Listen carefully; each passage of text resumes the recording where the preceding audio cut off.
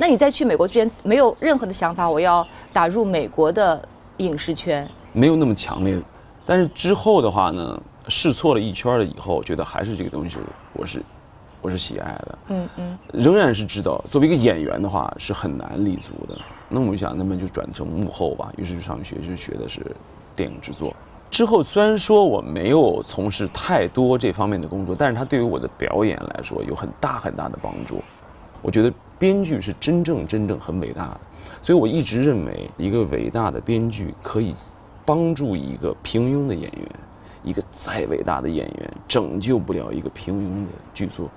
那你在美国那么长一段时间，你能够知道内地影视圈在发生着什么？不知道，那个时候因特网还没有那么的发达。唯一的一个让我感觉到惊诧的是什么呢？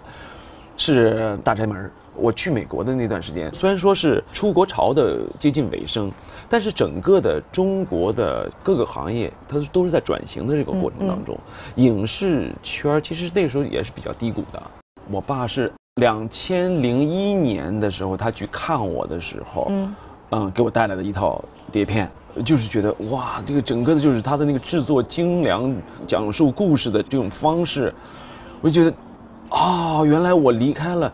这么短的时间内，已经发生了这么巨大的变化。大宅门是让你真正开始动了一个念头，回来的一个。对对对，零一年，然后紧接着零二年我就回了。